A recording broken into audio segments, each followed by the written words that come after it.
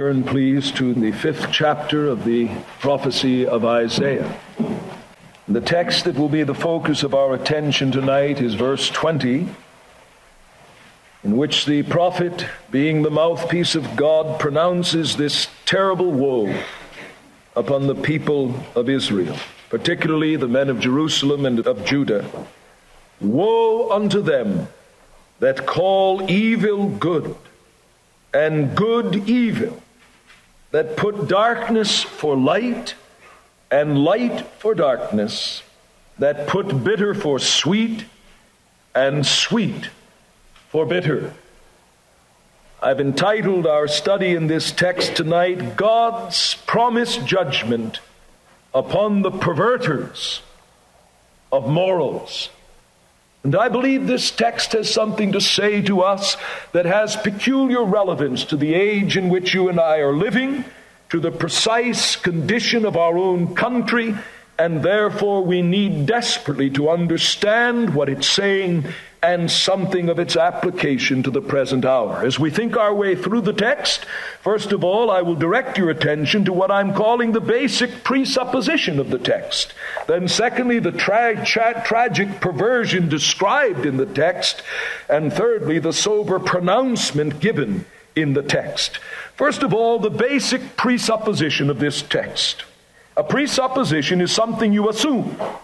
You operate on the basis that it is so.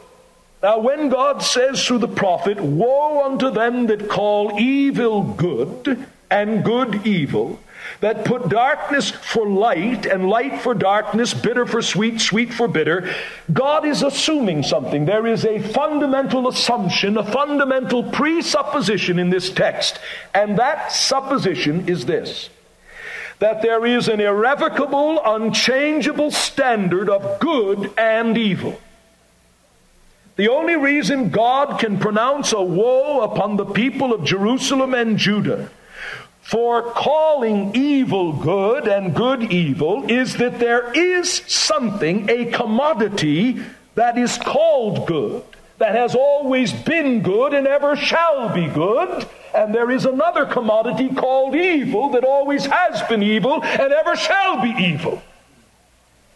If good and evil are simply whatever you make them, then God cannot indict the people for calling one the other. If it may indeed pass from one to the other, who knows, maybe the people are right. You see, the basic presupposition of this text is that there is an unchangeable, irrevocable standard of good and of evil. And what is that standard? It is mentioned in this very context in verse 24. Therefore, as the tongue of fire devoureth the stubble, and as the dry grass sinketh down into the flame, so their root shall be as rottenness, and their blossom shall go up as dust, because they have rejected the law of Jehovah of hosts and have despised the word of the Holy One of Israel. And the basic presupposition of this text is that there is a standard, unchangeable, irrevocable, inflexible, a standard of good and evil, and that standard is the law of God. Now, having considered the basic presupposition, now notice the tragic perversion, or literally, better word would be inversion, described in the text. What have they done with this inflexible standard of right and wrong, of light and darkness, of bitter and sweet? Notice verse 20 Woe unto them that call evil good, and good evil, that put darkness for light, and light for darkness, that put bitter for sweet and sweet for bitter. That which violates the clear commandment of God, God calls evil. Now, what have they done? The text does not say that they have simply neutralized it. That would be bad enough. You see, for a man to be an agnostic and say, Well, I just don't know if there's anything good or evil, that's bad enough. But when men go so far as to take the thing God has called evil and say it is not evil, and go beyond even making a neutral pronouncement and say, I'm not sure whether it's good or evil, but they take the very thing upon which God has pronounced the name and judgment evil, and they call it good. When vice becomes virtue, what a frightening state of inversion of moral standards. It's not mere perversion, it is inversion. They take that which God has constituted and called darkness Darkness is always a picture when it's used with reference to moral issues. It's a picture of a turning aside from the realm of God's holiness. God is light, that is, God is spotless moral purity, and in Him is no darkness, no sin, no stain of moral evil. They take that which is the stain, that which is moral evil, and they not only neutralize it, but they say it is actually moral virtue. It is light. And I would like to suggest, and this is the heart of the burden of the message tonight, that this is the tragedy with which you and I are living in our day. As a nation, in the realms of politics, ethics, and morals, whether we're talking about them in the home, in the school, in the classroom, in the professor's chair at the college, into the very highest courts of government, we are living to behold verse 20 of Isaiah 5 before our own eyes. A situation in which what God calls evil is being preached as good and as virtuous. Now let me demonstrate it. Let's take that inflexible standard of right and wrong, darkness and light, bitter and sweet, the holy law of God, and let's just pick out several of the commandments. This is not an exhaustive study, only suggestive so that it will, I trust, produce some independent meditation on your part. The first commandment is, Thou shalt have no other gods before me. This commandment says it is good that man, the creature, should recognize in the one true and living God who is Father, Son, and Holy Spirit, creator and sustainer of the universe, that the creature should recognize in that God the source of his life, the source of all that is good and glorious, and give to that God the unrivaled allegiance of his heart. Thou shalt have no other gods before me.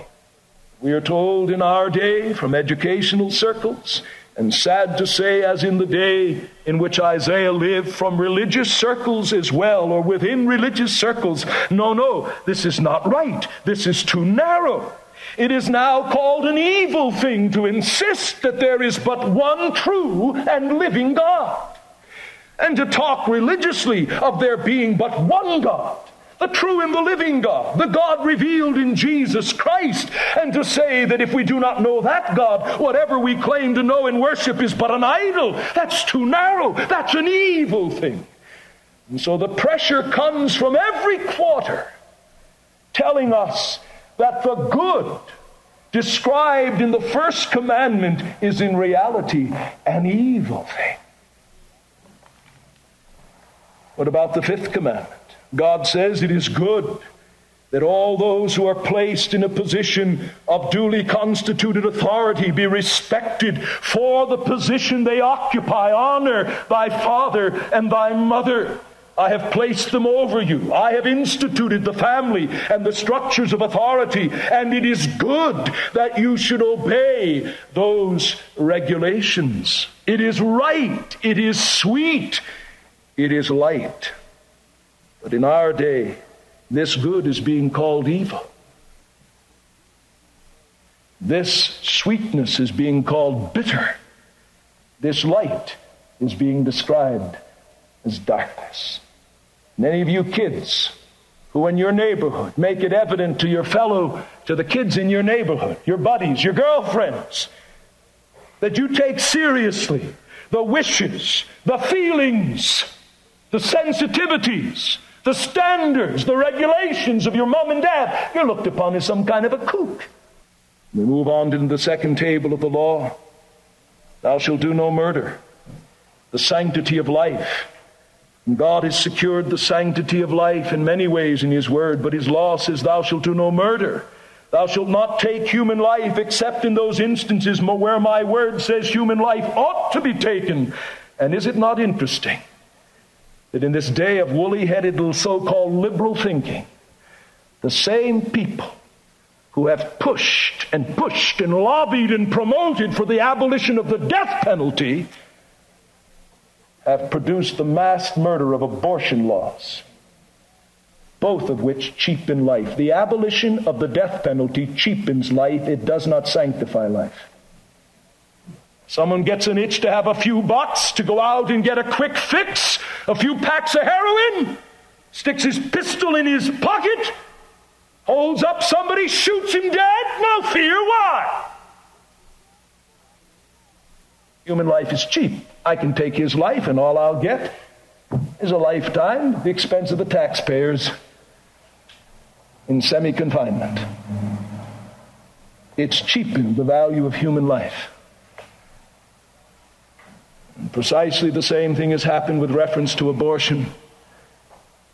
If there were not a text in Scripture upon which to establish the fact that at conception what is conceived is a human being, and there are texts, I'm convinced, but if there were not, it is inscribed upon the conscience of man in terms of the law of God that abortion is murder. And this is why the godless psychiatrists are admitting now that they can't handle the many women who are coming with tortured emotional lives but because they can't rid themselves of the guilt that has followed from the abortion. It's not my purpose to go into the whole subject. Perhaps that warrants a message in itself because the issue is such a burning one. But you see what's happened? We're being told it's a virtue. Why bring an unwanted child into the world? Better to kill it in the womb than kill it with a hostile environment. That sounds very virtuous, doesn't it? They call evil good. And they call good evil. They put darkness for light and light for darkness. We move to the seventh commandment Thou shalt not commit adultery. God is saying it is good to maintain the sanctity of the sexual union by an arrangement in which one man cohabits with one woman within the tender, self giving relationship of marriage and any violation of that is not good. It is evil. Thou shalt not commit adultery, whether the violation be in the desire of the heart, according to Matthew 5, or the actual union of the bed. Thou shalt commit no adultery. We're being told that that good sanctity of sex is an evil thing. And furthermore, we're being told that homosexuality is not sin perversion and wickedness. Although God Himself burned two whole cities primarily because of this sin. This is not evil. If that's your inclination, that's good. Society just has to catch up with this good, and they're doing their best to make us all catch up to where we don't even use the term in a derisive way anymore. We don't use it in a way that would anyway infer that there's anything abnormal, that there's anything bitter, anything dark, anything evil. I heard one man actually say that the worst curse upon our society is our concept of the sanctity of a one on one relationship between a man and woman and our whole concept of the home. If we can get rid of that, he says, we'll get rid of all our hang ups. Good is called evil. Evil is called good. Do I need to give any further illustrations to demonstrate that this text speaks with a relevance that is shockingly pointed? Here is a description of the tragic moral perversion not only in the day of Isaiah, but in our own day. Now, what is the root of all of this? Well, look at the passage. The root of all of this is to be found in the phrase that we read earlier in verse 24 because they have rejected the law of the Lord of hosts and despise the word of the Holy One of Israel. Now, the word despise, most frequently in the Old Testament, does not mean what we usually mean when we say it. We use despise as a word of positive and deep and a heightened sense of antipathy. I despise spinach, the kid might say. What you mean is, not that I regard it lightly, I just can't stand the stuff. Get it away from me. But more often than not, the word despised in Scripture, particularly in the Old Testament, means to regard with indifference. And here's the picture They've rejected the law of the Lord of hosts and regarded with indifference the word of the Holy One of Israel before any man, any group of men, any nation can enter the condition described in verse 20, in which good is called evil, evil is called good, darkness light, light darkness, bitter sweet, sweet bitter. There must be this twofold experience described in verse 24. There must be this rejection of the law of Jehovah and this regarding with indifference the word of the living God, the Holy One of Israel. And it doesn't take a historian to see how this was done over the past 100 years in our own life. You see, no one or very few people thought when God was ruled out of his world as creator that he would be ruled out of his world as moral governor. The smart Alex who said, well, to be with it, we've got to believe in the theories propounded and expounded and supported by Darwin, most of the people, for many good religious men, were infatuated with Darwin. They had no intention of ruling God out of his moral universe.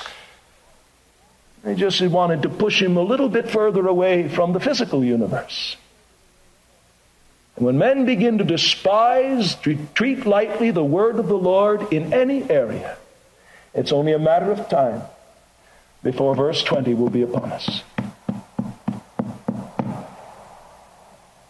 For when confidence is undermined with reference to the Word of God touching the origin of things, it isn't long before confidence is undermined with reference to the meaning of things and the regulations for the things that God has made.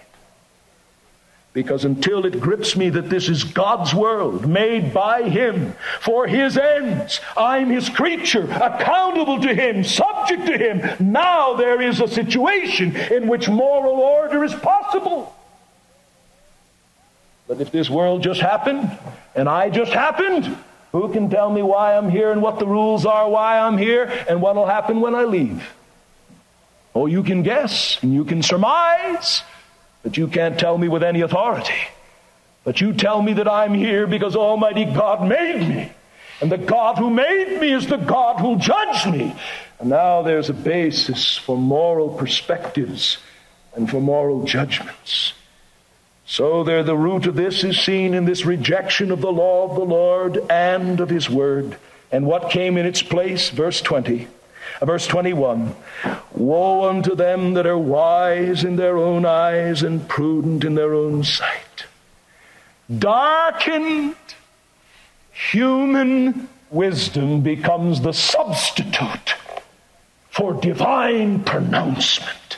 And what a tragedy when that happens having rejected the law of God, having despised the word of the Holy One of Israel, when they ask such questions, what is right? What is wrong? They have nothing but what is described in verse 20 their own wisdom. They are prudent in their own eyes. And what does God say? After that, in the wisdom of this world, the world by wisdom knew not God. Man's wisdom is folly when unenlightened by the word of truth. And so the psychiatrist and the political scientist and the sociologist and the experts and the educational leaders, they try to tell us what's good, what's right. And isn't it amazing?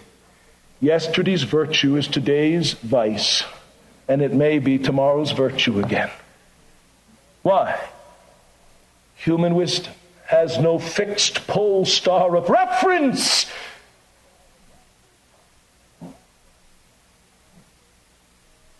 So, in the place of God's eternal, unchangeable word, forever, O Lord, thy word is settled in heaven. There is the changing, vacillating opinion of man.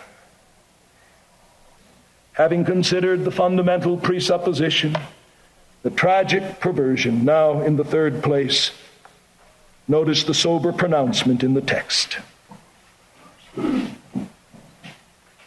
The text begins with the word woe.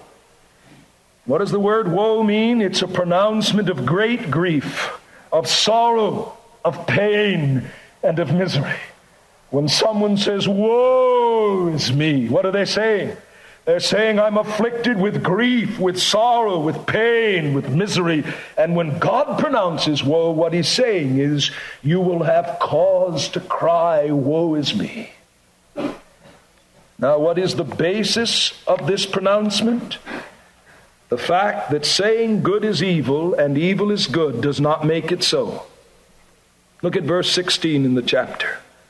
After mentioning the judgment upon the people that would lead them into captivity, but the Lord of hosts is exalted in justice, and God the Holy One is sanctified in righteousness. What's he saying?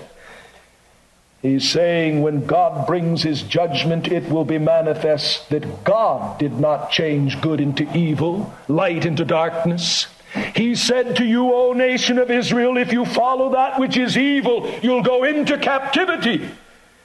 By the tricks of your own perverted desires and by listening to your false prophets, you've convinced yourself that it's not so, that evil is good and good is evil. But when the grave opens itself up and multitudes of your own people go to a premature grave, and when the lowly and the high alike are humbled in judgment and captivity, then the Lord of hosts will be exalted in justice.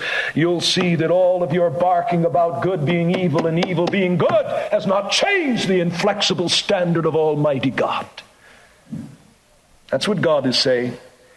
The basis of this sober pronouncement is that God's character is unchangeable. God's law is unchangeable. God's knowledge is perfect, and God's patience will reach its end. Look at verse 24. The end of these descriptions of the sins of the people, therefore, in the light of this, as the tongue of fire devoureth the stubble, and as the dry grass sinketh down in the flame, so their root shall be as rottenness, and their blossom shall go up as dust, because they've rejected the law of host.